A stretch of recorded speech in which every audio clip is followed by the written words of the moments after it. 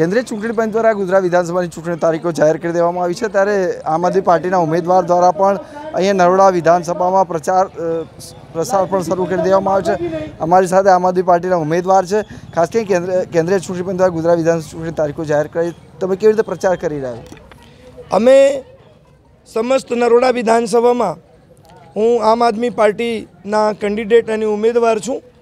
ઓર દરેક વિસ્તારના દરેક સોસાયટીમાં હું આમ આદમી પાર્ટીની પ્રચાર કરું છું. લોકો પૂછે છે કે ભાઈ કેમ પરિવર્તન લાવીએ? તો હું એમ કહું છું કે ગુજરાતના પરિવર્તન માટે, વિકાસ માટે તમે દિલ્હી અને પંજાબ જેવી સરકાર કેજરીવાલની બનાવવું પડશે. લોકો પૂછે છે કેમ કેજરીવાલની સરકાર? તો સર, ઈમાનદાર ઓર સાદગા, સાદગી જીવનના કેજરીવાલની નેતૃત્વમાં આમ આદમી પાર્ટીની સરકાર દિલ્હી પંજાબમાં ચાલે છે. ત્યાં ત્રણસો યુનિટ લાઇટનો બિલ અને પંજાબની લાઇટની સમસ્યા આ બધું ફ્રી અને શિક્ષા એજ્યુકેશન સારું મળે છે.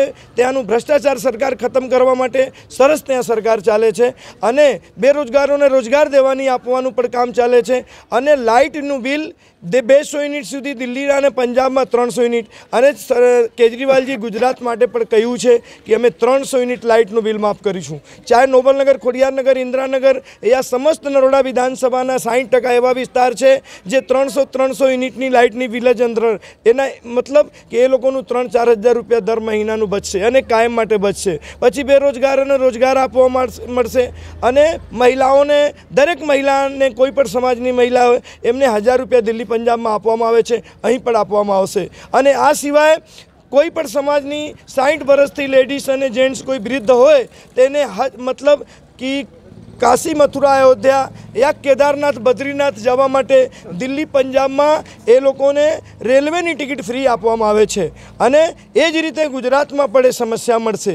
આજ સત્તાવીસ વર્ષથી ગુજરાતની અંદર તેલની ડબ્બાની ભાવ અઢી હજારથી ત્રણ હજાર, સો રૂપિયા ડીઝલ પેટ્રોલની ભાવ છે અને ઉપરથી હજાર રૂપિયા હજારથી અગિયારસો રૂપિયા સિલિન્ડરનું ભાવ છે. બેરોજગારોને રોજગાર નથી મળતું. ભ્રષ્ટાચાર, રાશન કાર્ડ બનાવો, લાવો પૈસા. આ- આયુષ્માન કાર્ડ બનાવવા જઈએ, પૈસા લાગે છે અને આધાર કાર્ડ બનાવવા જઈએ, પૈસા માંગે છે. દરેક ગલીઓમાં ભ્રષ્ટાચાર ભ્રષ્ટાચાર. એટલા માટે ગુજરાતની અંદર પરિવર્તન લાવો અને દિલ્હી પંજાબ જેસી જેવી તમને સુવિધા મળશે. ભ્રષ્ટાચાર ખતમ થઈ જશે અને પરિવર્તન એક મોકા ઝાડુ જેમના નિશાન છે આમ આદમી પાર્ટી. એને એ જ પ્રજા માટે હું દરેક ગલીઓમાં, નરોડા વિધાનસભાની દરેક સોસાયટીઓમાં પ્રજાની સમક્ષ જઉં છું. પ્રજાથી કહું છું, ભાઈ, એક મોકા કેજરીવાલને આપો અને કોંગ્રેસ ભાજપને સાઈડમાં રાખો. પૈસઠ, સિત્તેર વર્ષથી આ બે સરકાર ચાલતું હતું. લેકિન જે ગુજરાતમાં નરોડા વિધાનસભામાં નોબલમાં નોબલનગરમાં જે પરિવર્તન જોઈએ, એ પરિવર્તન આજ સુધી આવ્યું નહીં. સરકારી હોસ્પિટલની વ્યવસ્થા નહીં. પુસ્તકાલય, લાઇબ્રેરીની વ્યવસ્થા નહીં. શુદ્ધ પાણી મળતું નહીં, સફાઈ મળતું નહીં બેરોજગારોને રોજગાર નહીં, નથી મળતું સારી સ્કૂલ નથી મળતું. એ લોકોની ઘણા લોકો અભડ રહી જાય છે, કેમ કે સરકારી સ્કૂલોમાં ભણતર નથી થતું. એટલે એ બધા પ્રજાની સમક્ષ હું કેજરીવાલની લઈ જાઉં છું અને સો આ વખતે નરોડા વિધાનસભામાં એવું લાગે છે કે ગુજરાતમાં સરકાર તો બને જ છે આમ આદમી પાર્ટીની, પણ નરોડા વિધાનસભામાં પણ આમ આદમીની જે બહુમતી રહેશે મેં જેમ કે મને આમ આદમીની ટિકિટ આપવામાં આવ્યું છે, અને આમ આદમીની તરફથી આ વખતે નરોડામાં વિધાનસભામાં એમએલએ બનશે અને લોકો બનાવશે એવું મને લાગે છે. તિવારીજી ખાસ કરીને તમે જે વાત કરો ભાજપ તો સતત એવું કહે કે આમ આદમી પાર્ટીની મફતની યોજનામાં કોઈ ભરમાવાનું નથી.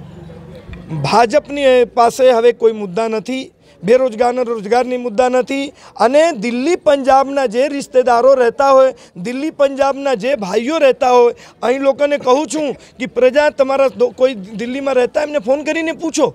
કે ભાઈ ત્યાં મફત મળે છે કે નહીં? લાઇટ મફત મળે છે કે નહીં? શિક્ષા મફત મળે છે કે નહીં? બહેનોને બસોની યાત્રા ફ્રી મળે છે કે નહીં? તમે દિલ્હી, પંજાબના કોઈ પણ પ્રજાને જોડે વાત કરો. અને જેને દિલ્હીમાં જવું હોય, તો હું એમને ટિકિટ કપાઈને આપું છું રેલવેની ટિકિટ. મારા તરફથી પાંચ દિવસ દિલ્હીમાં ફરીને આવે કે દિલ્હીમાં કેવું સુવિધા છે? પછી એ મત આપે. ક્યાં કેજરીવાલ ક્યારે જૂઠ નથી બોલતા. આ લોકો પંદર લાખ આપવાના હતા, ઘરના ઘર આપવાના હતા રોજગારોને રોજગાર આપવાના હતા. એમાં તો કંઈ થયું નહીં. અને મારા કેજરીવાલ જે કહે છે એ કરે છે.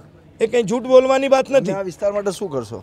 આ વિસ્તાર માટે નરોડા વિધાનસભામાં સરકારી હોસ્પિટલ નથી. જેમ કે હું એક મામૂલી કોર્પોરેટર હતા તો એક અર્બન હેલ્થ સેન્ટર અમારા તરફથી હું બનાવ્યો નોબલની દરેક ગલીઓમાં બ્લોક પથ્થર આવું બધું. પર એક મામૂલી સત્તા હતું. લેકિન નરોડા વિધાનસભા ગુજરાતની સરકાર બને તો સો ટકા અહીં પુસ્તકાલય લાઇબ્રેરીની વ્યવસ્થા નહીં સરકારી હોસ્પિટલની વ્યવસ્થા નહીં ગ્રાઉન્ડ પ્લે પ્લે ગ્રાઉન્ડ નથી છોકરાઓને વિદ્યાર્થીઓને ટ્રેનિંગ સેન્ટર નથી અહીં કોઈ બગીચો નથી કોઈને વોકિંગ કરવું હોય કે લગ્ન પ્રસંગ કરવું હોય, લાખ લાખ રૂપિયા ભાડું પાર્ટી પ્લોટનું આપવું પડે છે. સરકારની તરફથી નરોડા વિધાનસભા નોબલમાં કોઈ સરકારી મેરેજ હોલ નથી, પુસ્તકાલય નથી, કોઈ સુવિધા નથી. માત્ર લોકો ધર્મની નામ ઉપર વોટ આપે છે અને મોદી સાહેબની મત લઈ જાય છે. સત્તાવીસ વર્ષથી ગુજરાતમાં